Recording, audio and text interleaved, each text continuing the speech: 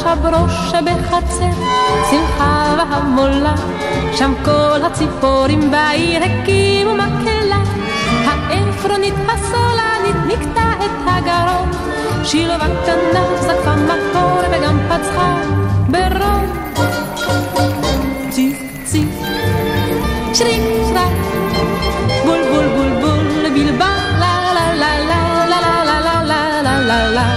וכל מי ששמע אמר, אה, איזו מקהלה.